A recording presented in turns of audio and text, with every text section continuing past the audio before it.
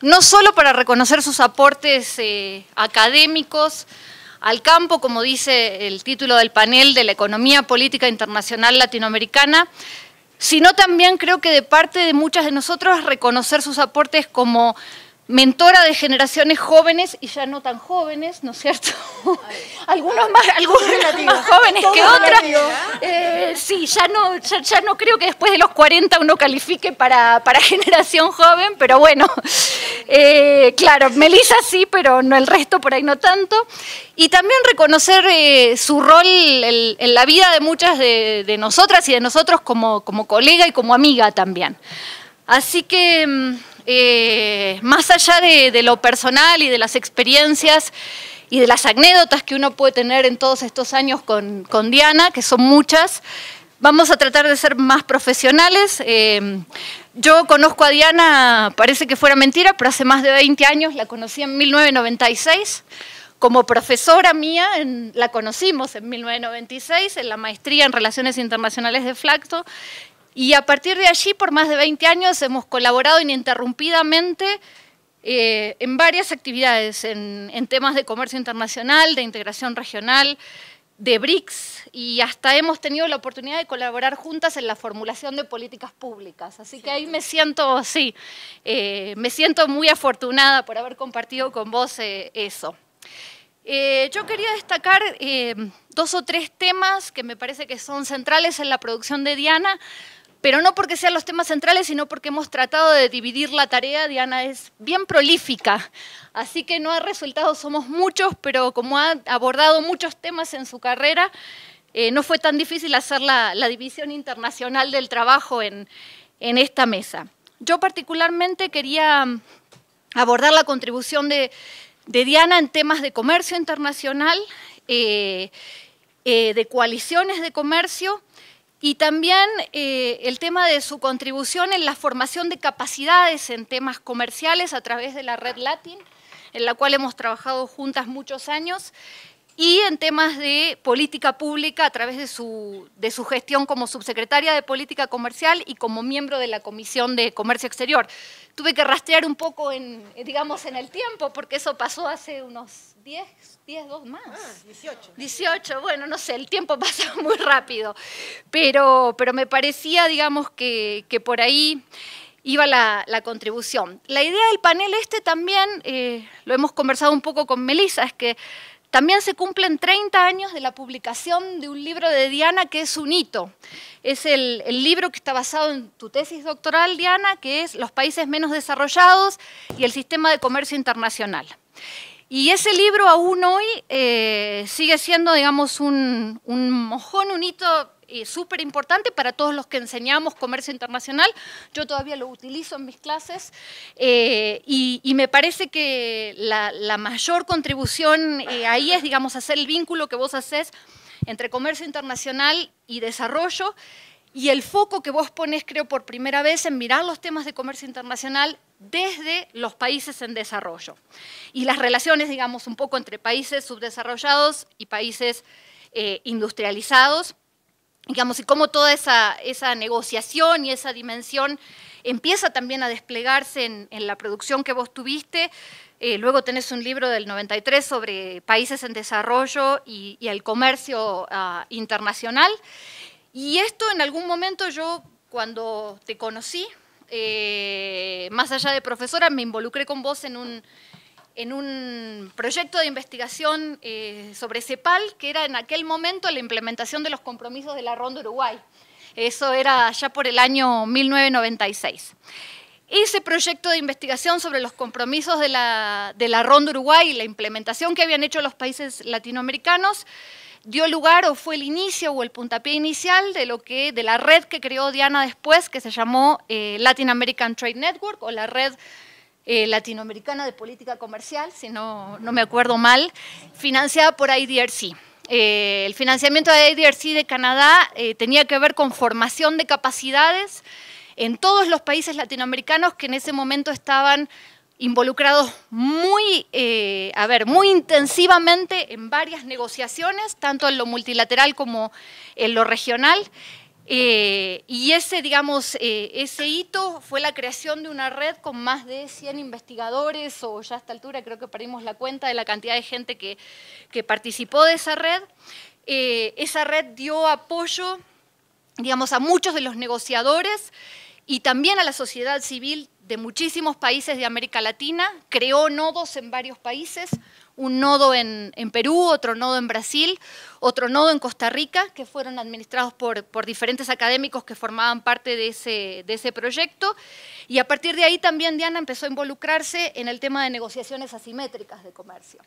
Así que ahí hay toda una historia eh, creo que uno de los grandes puntos que discutíamos en aquel momento era cuál era el margen de maniobra que tenían los países latinoamericanos para poder seguir haciendo políticas comerciales activas en un momento en el que primaba el neoliberalismo en muchas partes y que, eh, digamos, en, la región se hablaba mucho de las negociaciones del ALCA y allí también ha habido eh, varios proyectos en, ese sentido.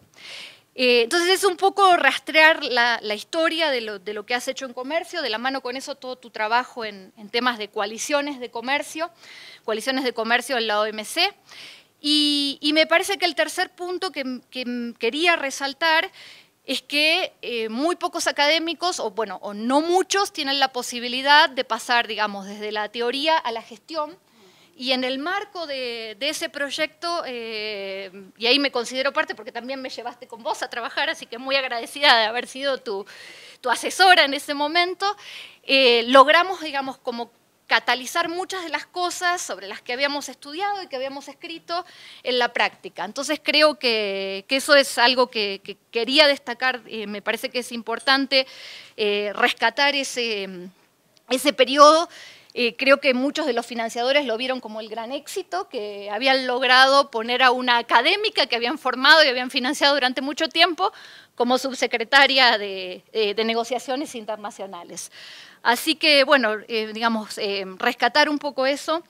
Eh, yo no me voy a extender mucho porque somos un movimiento social, para hacerte honor, entonces quiero ser bien sintética. creo que tu mayor contribución, a ver, tiene que ver con la formación del campo de economía política internacional en América Latina, pero también tiene que ver con tu generosidad. Y después vamos a hablar, eh, eh, hay, una distribución de tareas al respecto, pero creo que es tu generosidad en la formación de nuevas generaciones. Y la verdad es que yo lo que quiero destacar es que no es fácil que un académico reconocido como vos tenga la apertura que tiene. Eh, yo eso lo valoro mucho, siempre vos fuiste una persona muy abierta, de hecho yo ahora te presento eh, te presento estudiantes, y sos súper generosa y a veces los académicos destacados no tienen esa, esa generosidad y esa apertura. Eh, sí, eh, creo que otra de las cosas que valoro mucho yo y que he aprendido y que creo que también llevo conmigo es la perspectiva ecléctica, ¿no? el combinar diferentes teorías y ser ecléctica y mirarlo todo desde la perspectiva de los países en, desarrollo y también tu versatilidad para abordar variados temas que los colegas acá eh, van a estar eh, aportando. Así que voy a seguir el orden que aparece en, el programa y le voy a pasar la palabra a Ethel Solingen. Buenas tardes a todos. Y muchas gracias, Cintia, por, por, invitarme. No me daba cuenta que iba a ser eh, en español, lo que no lo podría hacer en español eh, por mi vocabulario eh, doméstico en español. No, no, estudié la mayor parte de mi vida.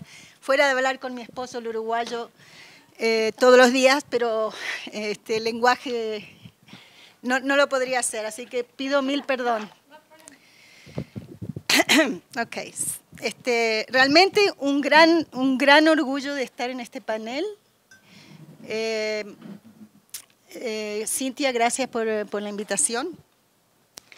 Eh, there are eight people in this round table, I think, and everybody will sing the glories of Diana Tassi, Diana Tassi. So I'll be very brief. I'll try to be brief, and you can cut me off whenever, whenever you, you like. And all the glories that are being sung here, they are well deserved. Diana is a dean in the study of regionalism. That's sort of the aspect I, will, I was assigned. uh, regionalism at the global, uh, the global level. I met Diana many years ago, but by the way, on the issue of age that you mentioned, Cynthia, no me doy por aludida, eh? Okay. Uh, many years ago, so I won't say how many, uh, at an ISA convention in San Diego, where she was already back then introduced as a foremost political economist in Latin America, which she was. And this is quite a while ago. Uh, Diana had already collected uh, many distinctions at the time. In 1996, she was Distinguished Fulbright Scholar in International Relations for the 50th anniversary of the creation of the Fulbright Commission. In 2001, as we learned from Cynthia, of course, and many of you know, she served as Argentina's Undersecretary for International Trade Policy and so on and so forth. Her breadth is impressive, and I know others will address other aspects of her work. So in my, my brief remarks, I will restrict myself roughly to regionalism. Diana, as I said, is, a, is an unquestionable pioneer in the study of regionalism and recognized as such uh, worldwide. We come to the study of regionalism from somewhat different perspectives, which highlights even more my admiration for Diana and, and for her eclecticism. Over the years, uh, she and I have jointly laughed more often, laughed as in laughing uh, at our differences sometimes than, than fighting over them. And I think uh, there's, of course, plenty that we agree on, especially uh, our end goals, a more just and peaceful uh, world for all. Now, two or three decades ago, the study of regionalism in the US was primarily focused on Europe and to a lesser extent on North America. In the 1990s, when I was looking at systematic studies of regionalism in the industrializing world, I was trying to actually do a comparison, which I did in a book in 1990, four articles and books uh, between East Asia, the Middle East, Latin America, and I kept looking. There were there was uh, there were precious, precious few studies of other regions, especially in the main professional journals. But Diana and her colleagues have since launched a focused effort to understand regionalism beyond the EU experience. Her book with Pia, whom I just met here today, on the rise of post-hegemonic regionalism in Latin America collects some of those um, uh, uh, understandings uh, of what they learned. Now, the book introduced an original argument on models of regional governance in non-European contexts, especially in Latin America. And it argues, that, it argues that the case of integration as a stepping stone towards global capitalism has been overstated and that the two most important questions that will push the study of regionalism to new frontiers are, first, what factors enable and constrain how transformative a given regionalism is or can be, with an emphasis on transformative, and two, what factors govern uh, how resilient a given regionalism is, is likely to be under challenging political and economic conditions.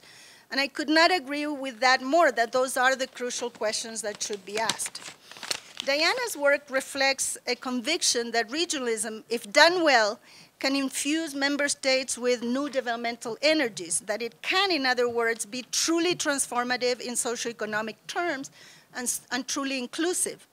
The book makes clear that the analysis of regionalism should not be conducted merely in terms of success or failure in the realm of trade, uh, or in terms of durability, or in terms of the formality of institutions, but rather regionalism should be evaluated in terms of whether or not region-wide social mobilization within informal networks takes place.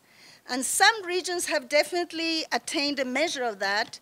Ironically, even the EU can be considered to have developed such mobilizing networks. But some of those networks continue to vie for EU institutions.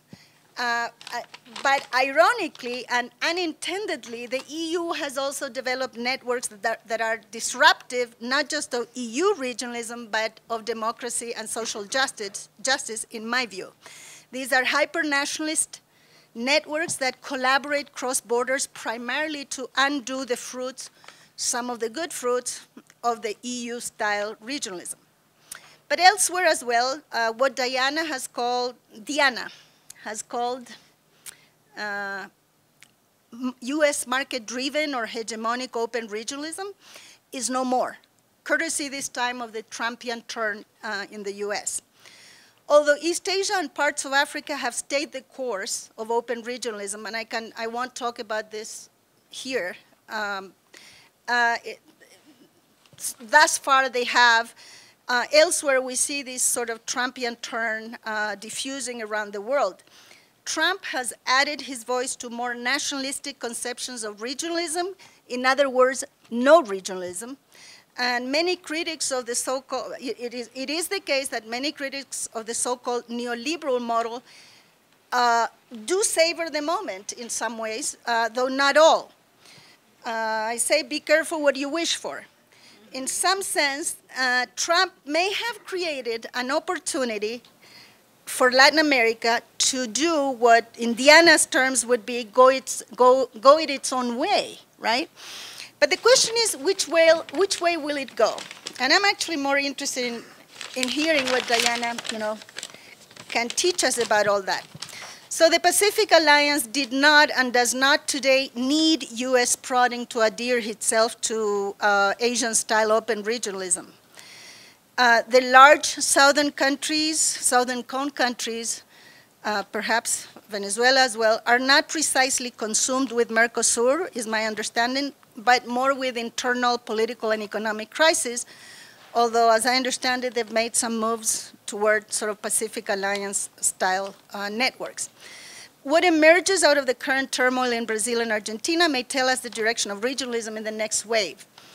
But meanwhile, the more stable countries, including Uruguay, I have to, I can't fail to mention Uruguay, never had, uh, uh, never had, uh, and I will specifically say, even in Uruguay, never has Mercosur been really their favorite model, to say the least. And we know even left, left-leaning Uruguayan leaders softly but often express their preference for Pacific Alliance-style regionalism. I don't know where that is today in sum, the Trumpian moment, and many of us in the US would like this moment to end right now.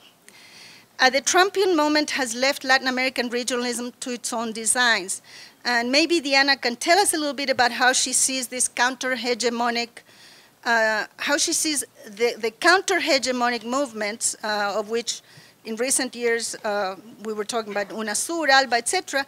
How, how do they fare under these uh, conditions? Are they in a position to realistically seize the moment?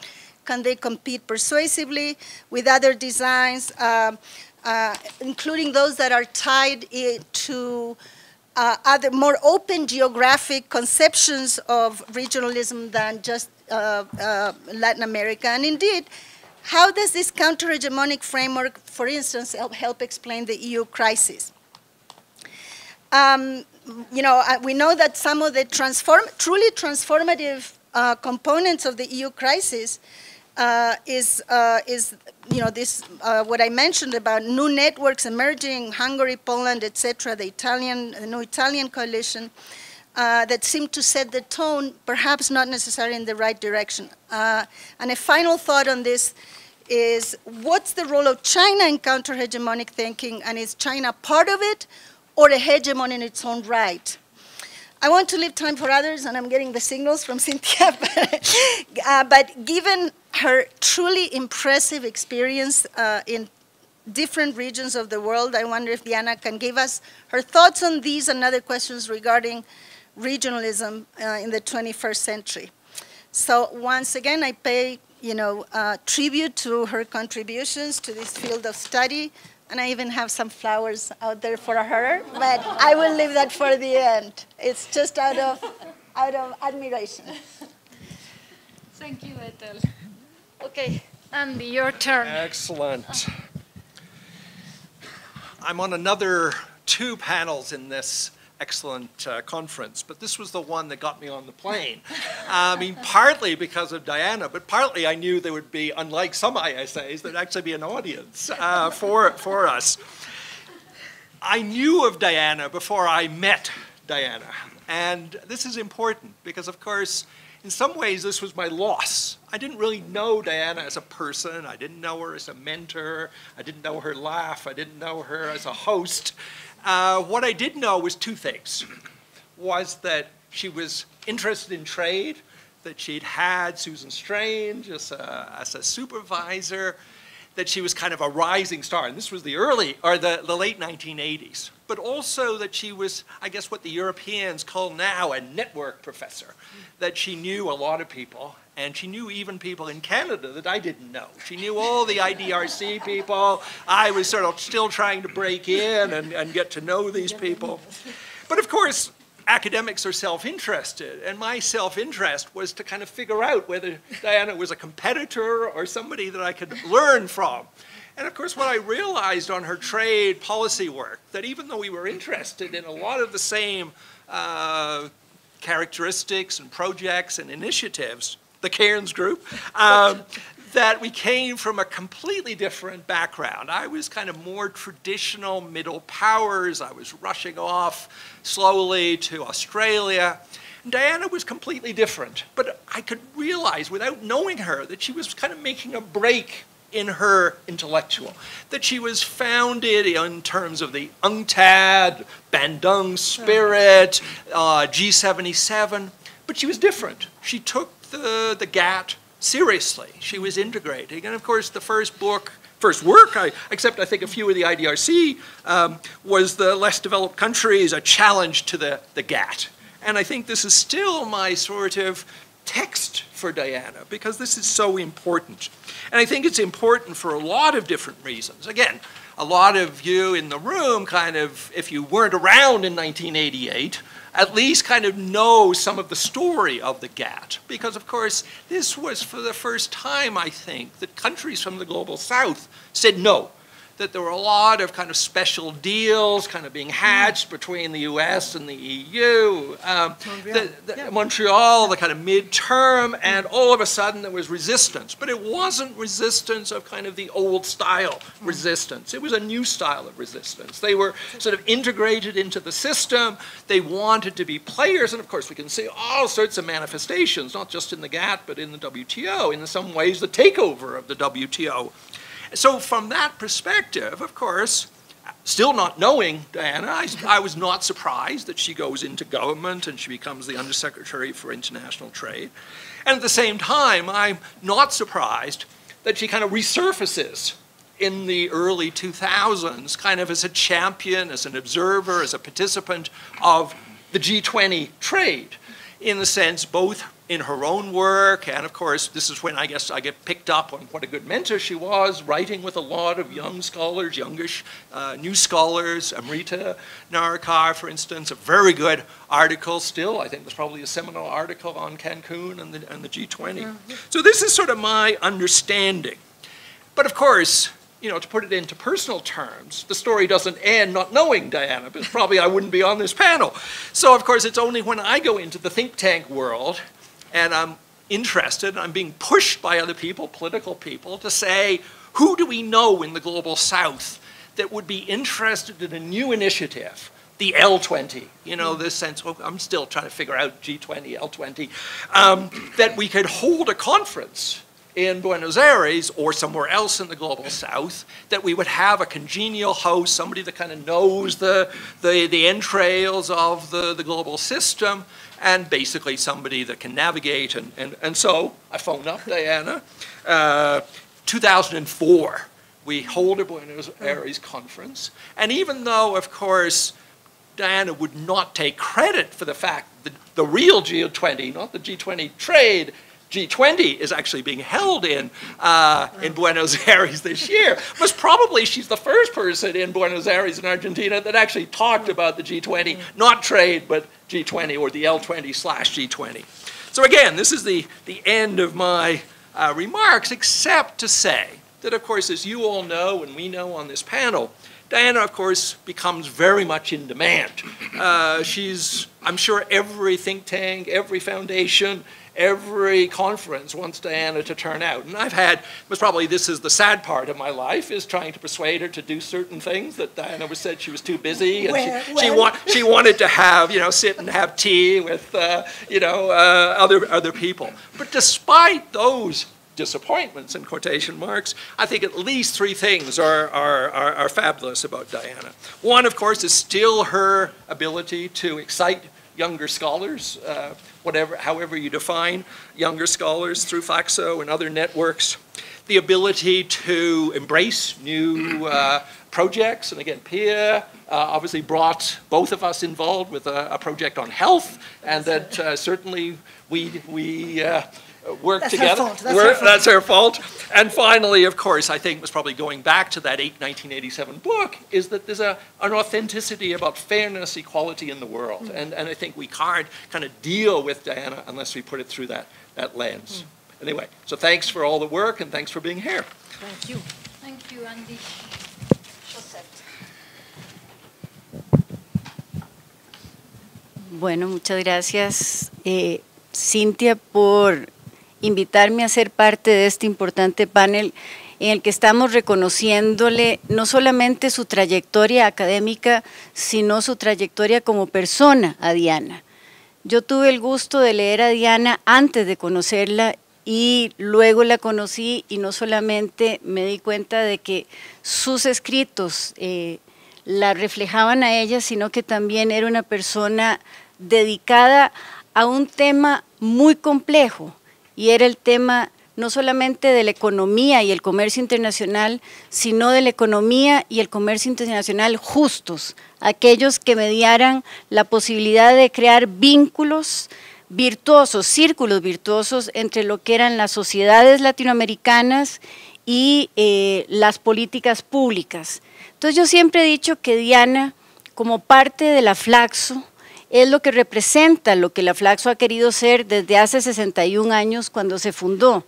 Y es ser, y no te estoy diciendo que vos estás desde que se fundó la Flaxo, estoy diciendo que representas, que representas los ideales eh, y sobre todo el compromiso en los temas de integración y desarrollo, pero también en convertirse no solamente en un formador de nuevas generaciones de cientistas sociales a través de pensamiento crítico, sino también crear ese puente, ese vínculo entre el mundo de las ideas, el mundo de la academia y el mundo de las políticas públicas. Y eh, siempre cuesta, cuesta eso tal como lo decía Cintia. Nos embarcamos en varias aventuras, sobre todo cuando escribimos y fuimos parte de un libro que se llamó Las paradojas de la integración ah, latinoamericana. Eh, en este momento las paradojas se han convertido en el dilema de Penélope, como lo he dicho yo, lo que tejemos de día lo destejemos de noche. Y eh, en una coyuntura que está marcada por grandes incertidumbres, de la cual América Latina no es la excepción, es parte, no somos los únicos, en donde estamos viviendo a nivel de integración, a nivel del regionalismo, a nivel de todos los mecanismos de cooperación multilaterales, unas crisis existenciales, eh, por, eh, guiadas a través de hacia dónde vamos, cuáles son los caminos, eh, cómo están las tendencias globales que van a incidir en la región, sobre todo en los temas que estudia Diana, pues su pensamiento siempre en construcción, porque también ese es algo importante. El pensamiento de Diana se, se innova, eh, sigue creciendo, eh, sigue formando gente de manera multidisciplinaria, no, no, no se mantiene estática y esa es la riqueza también, ese es el filón rico de lo que es Diana como profesora, pero también lo que es Diana como parte eh, de la Flaxo.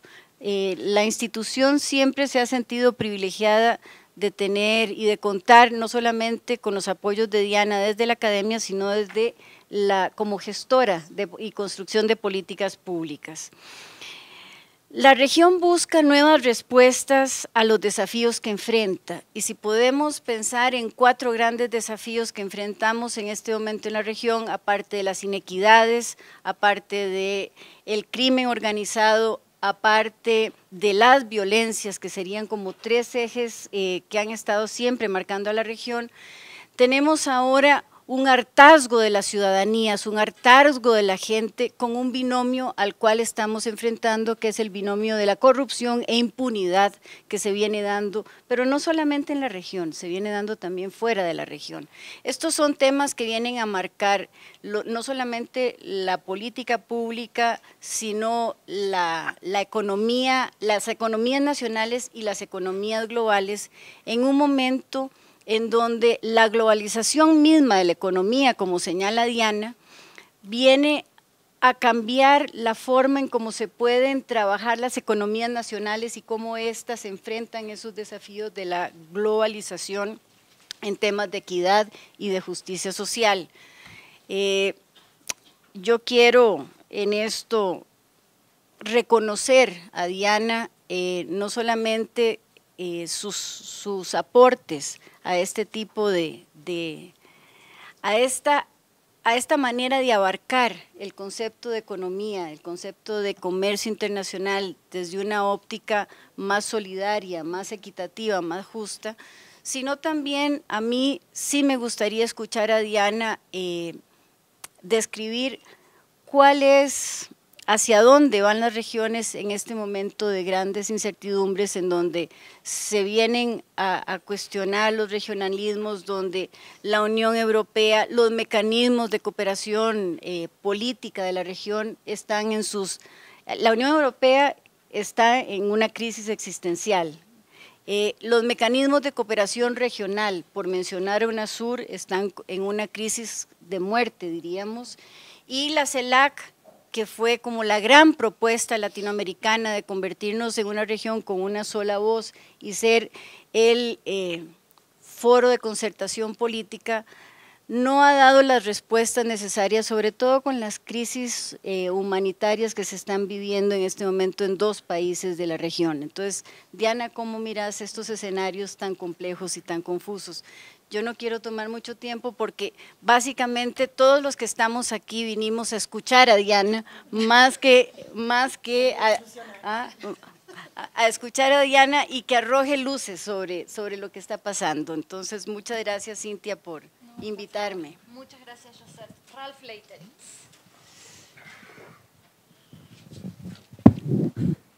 Muchas gracias.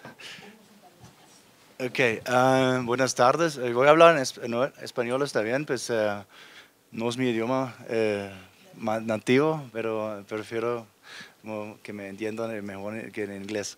Entonces, yo no soy de la región, ni siquiera de Canadá, yo soy de Alemania, yo soy de, crecí en Alemania Oriental en los años 80. yo um, hice una formación en Alemania, un pregrado, ciencia política, después una maestría de Estados Unidos y un doctorado em, en la misma institución como Diana en LSE.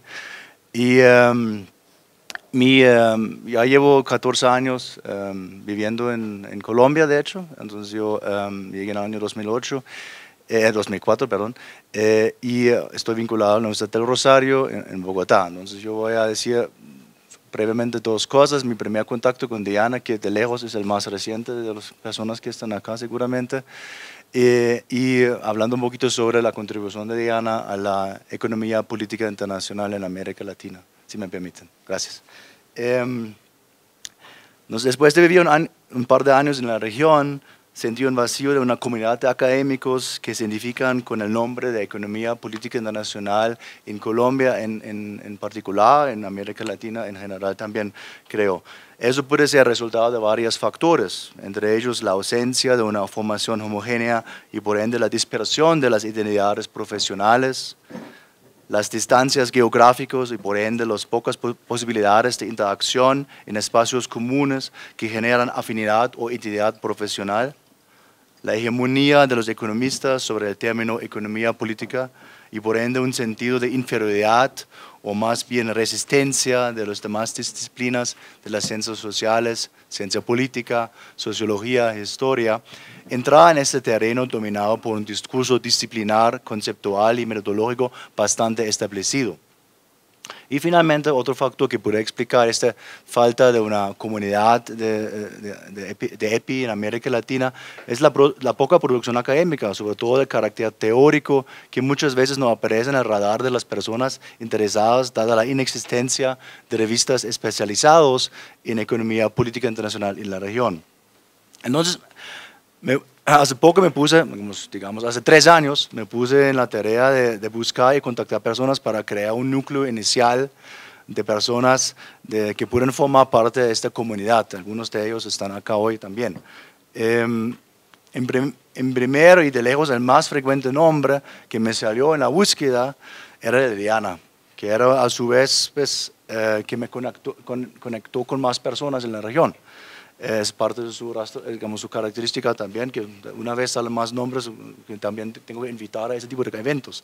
Em, a finales del 2016, 2016, junto con dos colegas de otras universidades en Bogotá, organizé una primera reunión informal sobre este pequeño, de este pequeño grupo para conocernos básicamente y hablar sobre nuestros temas y enfoques de investigación. El resultado de este encuentro han sido dos números especiales de la revista Desafío, editado por mi facultad en, en, Bogotá, la Universidad del Rosario, uno sobre un tema del regionalismo y el otro sobre el estado actual de la economía política internacional en América Latina. Todos salieron en, los, en el último año. Ahorita, hablando sobre la contribución específica de Diana a la EPI eh, en América Latina. Después del auge y declive relativo de la teoría de la dependencia en los años 80 y a la vez el comienzo de la hegemonía liberal institucionalista y la literatura occidental, Diana ha actuado como un torchbearer, ¿cómo se llama eso en español? Un, baluarte de, de, luz, ¿sí? Y el faro más visible de la disciplina en América Latina a nivel internacional. Todas las pocas obras sobre el estado de la economía política nacional a nivel global hacen referencia a su trabajo en América Latina, obras de Jerry Cohen, Mark Blight, ¿sí? Como una voz casi solitaria dentro de un supuesto mar de invisibilidad o inexistencia según la lectura occidental dominante. Su identificación explícita con la EPI y por ende la ubicación permanente de su obra empírica dentro de esa disciplina le destacan entre la ya mencionada dispersión profesional en la región. Su definición de la economía política nacional como interdisciplinar, heterogénea y orientada hacia la pregunta cui bono, sin duda se basa en su formación doctoral en LSE bajo Susan Strange y su visión ecléctica de la disciplina versus una visión más bien cerrada, racionalista y positivista que sale nuevamente de los Estados Unidos. Al mismo tiempo quiere ubicar la EPI plenamente dentro de un contexto latinoamericano real, no idealizado, en donde toman relevancia otros conceptos ontológicos, autonomía versus interdependencia o desarrollo versus régimen internacional, intereses epistemológicos contra eh, hypothesis testing, aspiración a la predicción y metodologías no positivistas y finalmente otras prioridades para los académicos, policy relevance, cambios políticos, justicia, ustedes ya hablaron de eso. Su referencia constante a obras de autores ubicados en la región complementa esta perspectiva de una EPI con un genuino carácter latinoamericano, en contraste con las muchas veces lejana de la realidad no occidental, economía política internacional como disciplina global. Como seguramente pueden confirmar sus ex estudiantes mejor que yo, su personalidad ha permitido una cultura de discusión abierta, incluyente y tolerante. Son a su vez requisitos para construir una comunidad de académicos que no se identifican con una sola teoría, metodología o lectura de la EPI, sino como un ciclo de personas con el interés común de indagar los múltiples vínculos entre el mundo político y económico en todas sus dimensiones y a la vez arraigados en un contexto temporal y espacial específico. En resumen, Diana es sin duda la patrina de la EPI latinoamericana, quien simboliza la relevancia y la vigencia de un pensamiento latinoamericano autónomo, que a su vez supera las deficiencias y vacíos de la vieja teoría de la dependencia y la conecta con las nuevas realidades de la EPI post-guerra fría en el mundo en general y en América Latina en particular. Muchas gracias.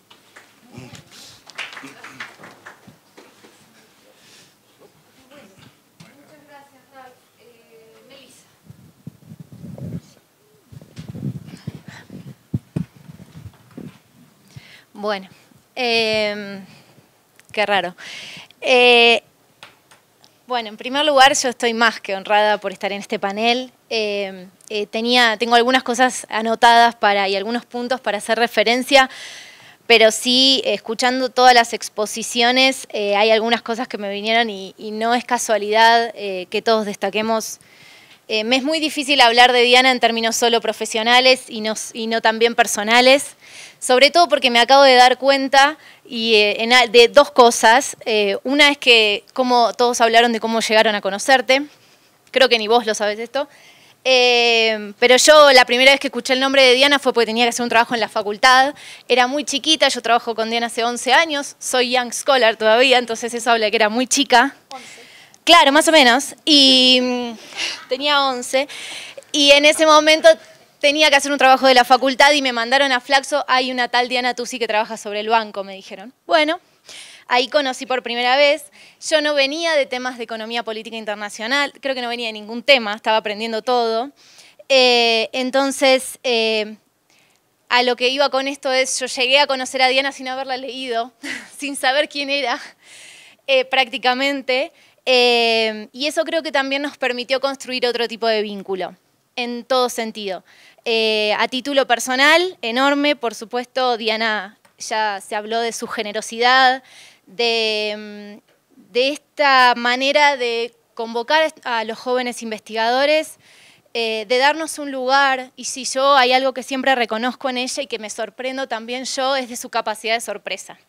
Diana no perdió nunca su capacidad de sorpresa, eh, esa generosidad se expresa en cada vez que lee muchos de los trabajos de un montón de ustedes que están acá también, nuestros, y reconociendo cómo cada uno desde nuestros lugares podemos contribuir a la construcción de distintos temas.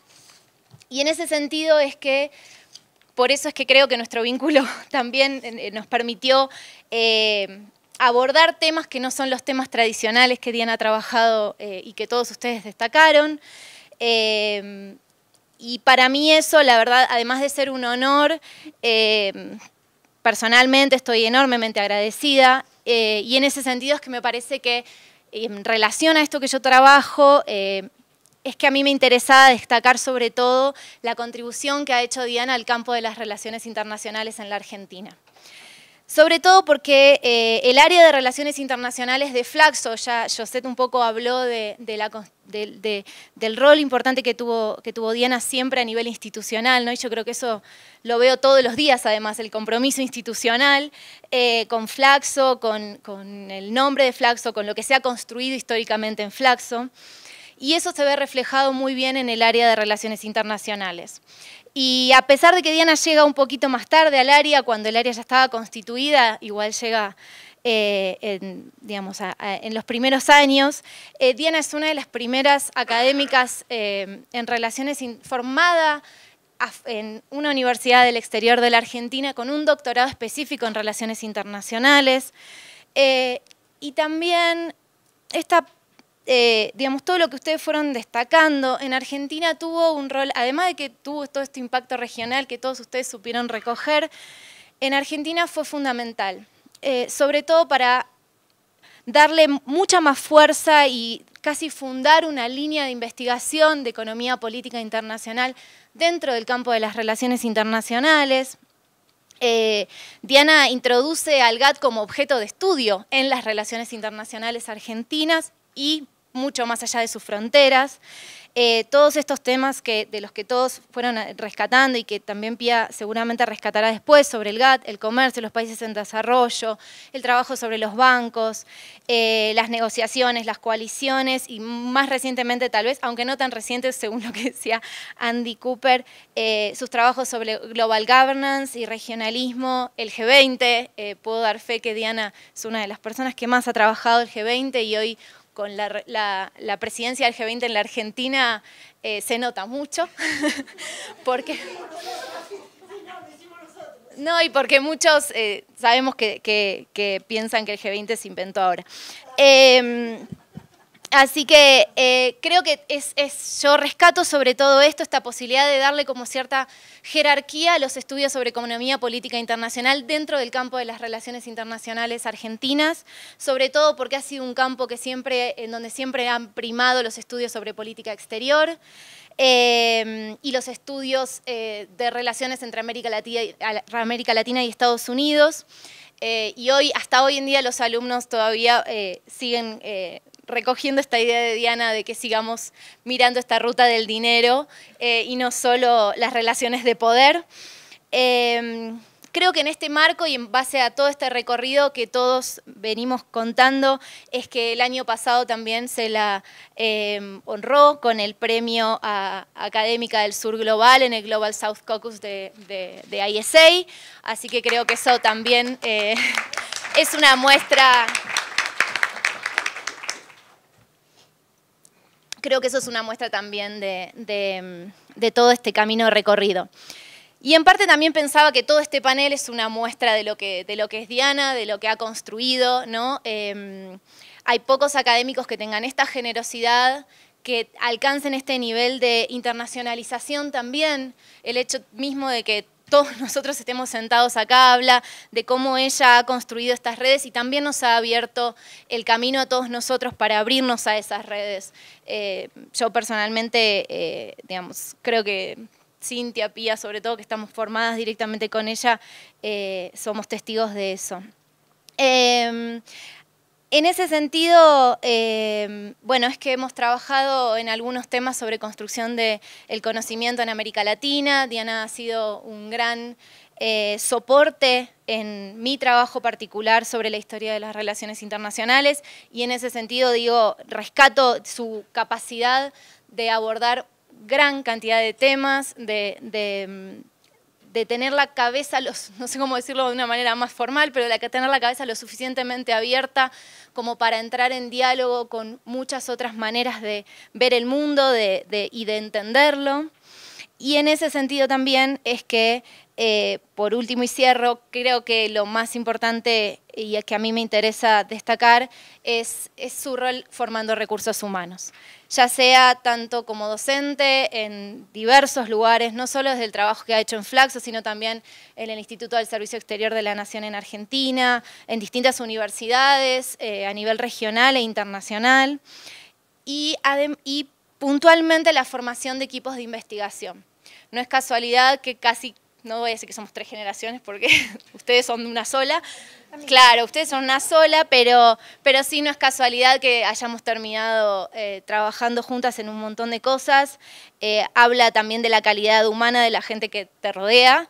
Em, y además tu rol también como formadora, que tampoco es casualidad, de muchas mujeres académicas. Creo que eso es una excepción, es algo que, es raro de ver eh, y a mí a veces me cuesta cuando escucho conflictos de, género porque yo nunca los sufrí por, gracias al lugar que hemos tenido nosotras en el departamento. Por último y para cerrar, en torno a esta eh, contribución que ha tenido Diana a las relaciones internacionales argentinas, quiero destacar su rol en el, en el CONICET, que es el Consejo Nacional de Investigaciones eh, en Argentina. Creo que su rol ha sido fundamental, sobre todo en los últimos años, formando gente y participando de, diversas, diversas eh, actividades que lo que implicaban era ni más ni menos que fortalecer cada vez más la construcción del campo de, las relaciones internacionales en Argentina. Así que bueno, eso es todo. Gracias. Last but not least, ¿Te pongo acá? sí. Bueno, muchas gracias eh, a todos, a Diana, al panel, a Cintia. Eh, yo voy a hacer tres puntos eh, principales en, lo que yo considero el aporte de Diana, pero lo que quiero decir primeramente es que yo conocí a Diana en el 96, conocí a Cintia y a Diana en el 96. Qué lujo, qué privilegio y, qué em, qué estimulante realmente. Eh, el mismo año que Ethel. Bueno, se habló de se habló de eclecticismo, de generosidad, del trabajo pionero de la economía política latinoamericana, en teoría y en práctica. Y yo quiero agregar eh, el respeto, el respeto por el trabajo ajeno y por las ideas, y, su apuesta a ese trabajo ajeno y a esas ideas. Eh, yo tengo mucho que agradecer eh, por, por ese respeto. Bueno, quiero hacer tres puntos, como dije anteriormente, sobre los mensajes del trabajo de Diana eh, en, los años eh, desde que la conocí. Eh, uno de los mensajes más desafiantes, creo, del trabajo de Diana es que lo óptimo es enemigo de lo bueno. Y a diferencia de los enfoques economicistas y deterministas de la economía política internacional, Diana ha propuesto no estudiar acuerdos en lo óptimo, sino el pragmatismo de los acuerdos multilaterales y regionales. Así, el aporte de Diana al estudio de la economía política desde América Latina se nutre de la necesidad de entender el multilateralismo y el regionalismo como espacios negociados, ¿sí? Y por ende en cuestionamiento, y por ende en cambio permanente, espacios de transformación. Eh, el trabajo de Diana se sitúa en esta vertiente intelectual con tres preguntas claves o tres preguntas que yo creo que son las de Diana. Eh, ¿Cómo se insertan los países del sur en la economía política internacional? ¿Cómo se negocia esa inserción? ¿Y dónde se sitúan las fuerzas de cambio y resistencia? ¿Quién demanda esos acuerdos multilaterales y regionales y quién contesta? Esto es fundamental. Yo creo que esto cruza todos los trabajos de Diana en sus eh, distintos espacios de investigación.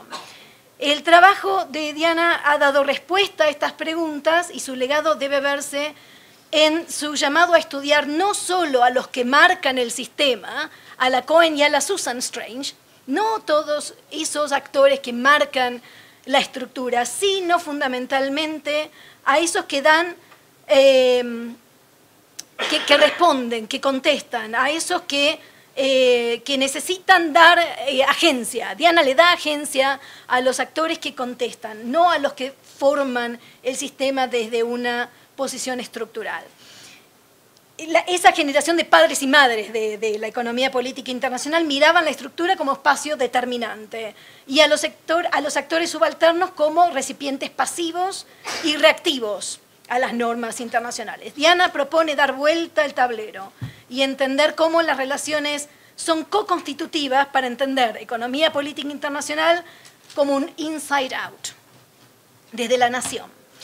El segundo punto que quiero proponer es eh, cómo Diana eh, es pionera en su noción de orden como gobernancia, ¿no? Eh, no entendido como jerarquías de poder, sino como espacios de negociación y de transformación de resistencia. Lo que Diana plantea es que el ámbito multilateral y regional presentan estructuras de oportunidad para la acción, de actores estatales y no estatales. Y ese abordaje se ve en los estudios de la OMC que Cintia eh, eh, mencionó, en los de los bancos multilaterales, de desarrollo mencionados por, por Melissa, y en los del estudio del regionalismo, eh, como mencionaba Ethel, en los cuales tuve la el privilegio de discutir con ella tantas cosas. Creo que así llegamos al tercer punto que quería marcar sobre el trabajo más reciente de acuerdos regionales y el regionalismo post-hegemónico. Esta es otra osadía en el aporte conceptual de Diana porque ha logrado expandir la tradición de la economía política internacional heterodoxa al estudio del regionalismo, que muchos comparativistas aún trivializan. Entonces yo quiero rescatar ese, eh, esa osadía conceptual y eh, entender poshegemonía no como una cuestión temporal, sino como una perspectiva antideterminista del regionalismo y como una herramienta de gobernancia para corregir asimetrías de inserción internacional y de poder. Con esto quiero eh, finalizar, tengo mucho, mucho para decir y muchas anécdotas para contar, pero creo que eh, lo que rescato es la agenda que Diana propone ahora para el estudio del regionalismo, que es correctiva al excesivo enfoque estructuralista de la economía política internacional y que es correctiva del excesivo enfoque comercialista e hiperinstitucionalista del regionalismo comparado. Y esto nos permite a todos intelectualmente reaccionar contra el pensamiento intelectual hegemónico sobre el regionalismo y seguir su propuesta de no eh, mirar cómo debería ser el regionalismo, sino mirar qué temas particulares particulares privilegian formas específicas de cooperación y movilización de ideas y de actores en la práctica de la política regional. Con esto cierro, esa es la, agenda que Diana nos deja eh, pendientes y, bueno, muchas gracias.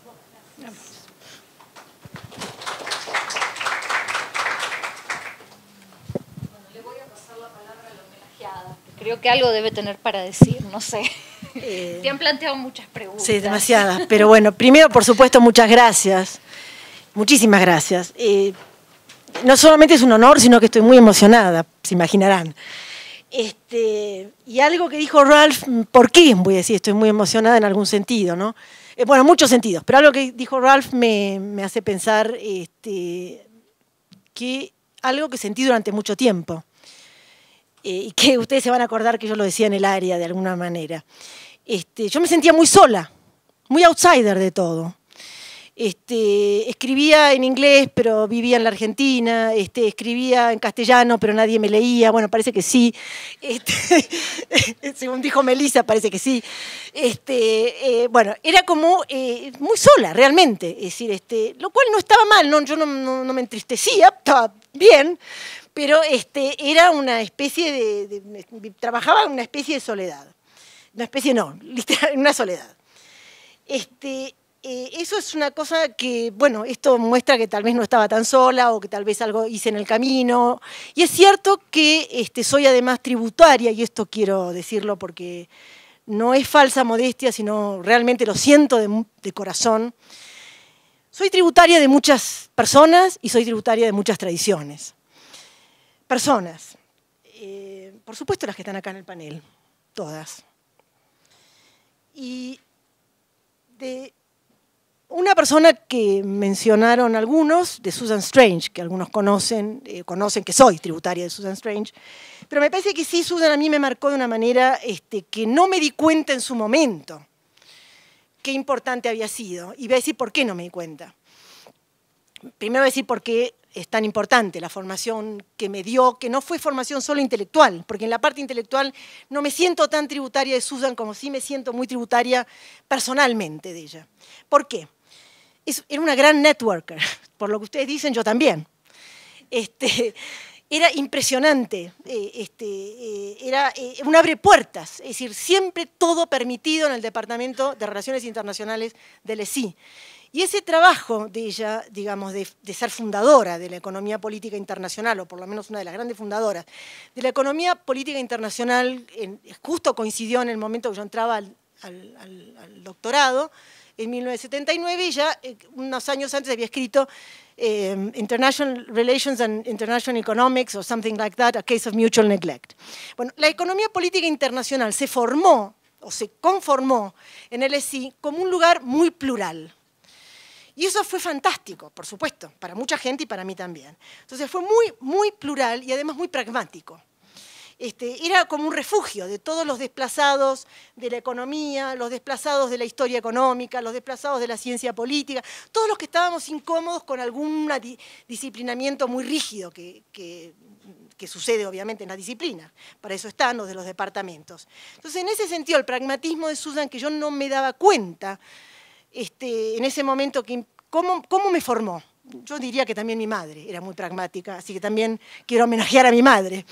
Este, era una persona muy pragmática. Pero Susan también tenía una cosa que era muy nutriente, eh, esto de abre puertas. Esto vale, todo vale. En lo que no me sentía tan tributaria, es, y ahora sí, pero en ese momento no me sentía tan tributaria, es en la parte intelectual. Porque Susan decía, y lo decía, obviamente era, era quien era, que international relations is about the people that make rules. Realmente yo obviamente no me identificaba con eso.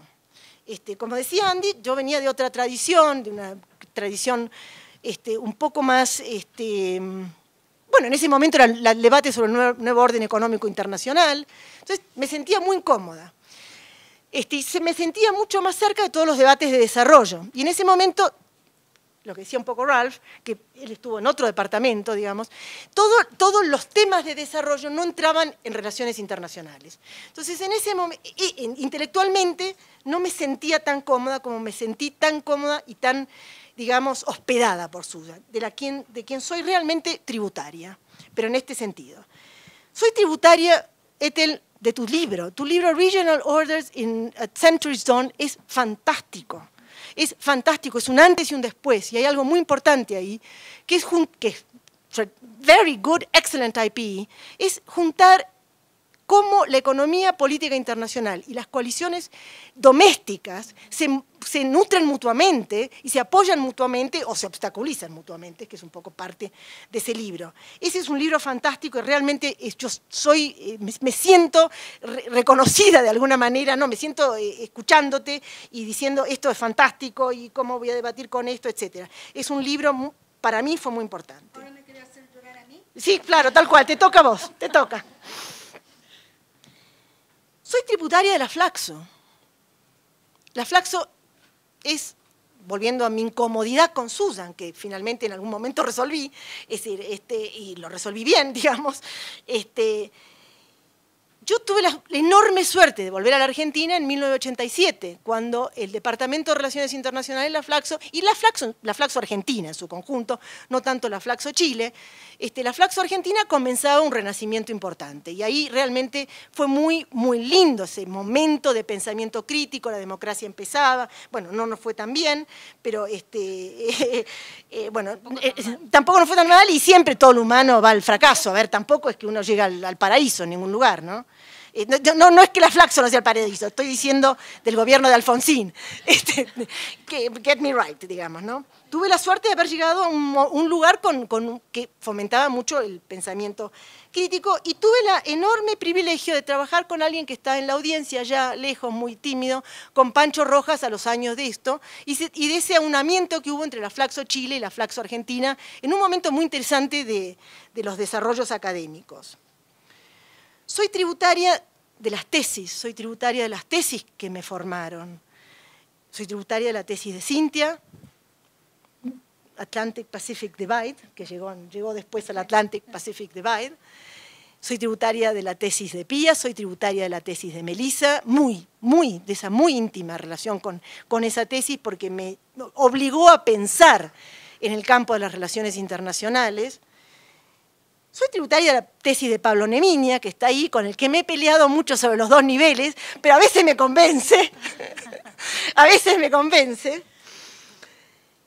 Y creo que este, hay algo también que, para cerrar, digamos, este, que sí es interesante, dos cosas que han marcado, eh, que han ustedes marcado y que sí siento que son parte de lo que, o de la forma que yo me inserté.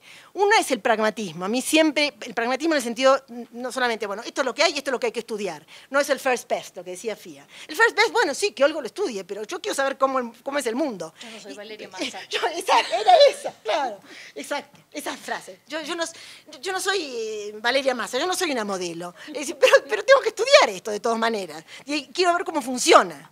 Y para ver cómo funciona tengo que estudiar lo que, estudiar lo que está. Eso sí, realmente en ese sentido soy muy pragmática. Eso también es muy Susan, get on with it, come on, get on with it, ¿no? Eso me acuerdo mucho de esa frase de ella, muy, muy fuerte. Este, e, e, hacía reír mucho. Dejen de llorar por el mundo que no tienen, dejen de fantasear por el mundo que les va a volver, que algún día va a llegar. Come on, get on with it, ¿no? Eso es pragmatismo anglosajón del mejor. Este, y sí tuve otra suerte, una suerte muy grande, porque también esto, las carreras se hacen, por supuesto, algo que vos decías, Cintia, que era, eh, yo no soy buena, pero me esmero, yo, también, pero me esmero, esa pongo empeño, no me acordaba cómo era, eh, yo, también pongo empeño, no soy brillante, pero pongo empeño.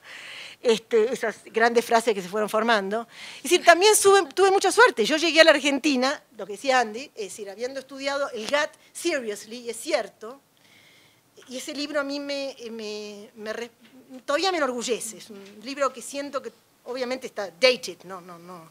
Habría que pensarlo de otra manera, etcétera. Es una tarea que, algún día volveré a tomar. Este, pero tuve la suerte de que de repente llegó, yo llegaba en el 87, nadie sabía lo que era el GATT. Nadie, nadie. Y comienzan las aperturas en América Latina, comienza el consenso de Washington, comienzan los Trade Policy Loans del Banco Mundial, comienza el Fondo Monetario Internacional haciendo la condicionalidad para la apertura. Nadie sabía. Entonces ese libro se transformó en una, eh, no solamente el libro se transformó en una joya, que sería lo de menos, mi conocimiento era importante, era interesante. Entonces también hay suerte en eso, ¿no? eso realmente yo siento que este, es, un, como diría, eh, como, decía Pía, es una estructura de oportunidad que, se dio. La parte intelectual, las preguntas que me hicieron, las voy a dejar para el otro panel. Este, este, creo que es pragmatismo, ¿no? Pragmatismo, que puede. Bueno, para, por mí, muchísimas gracias. Gracias. Primero voy a pedir un aplauso para Diana. Sí.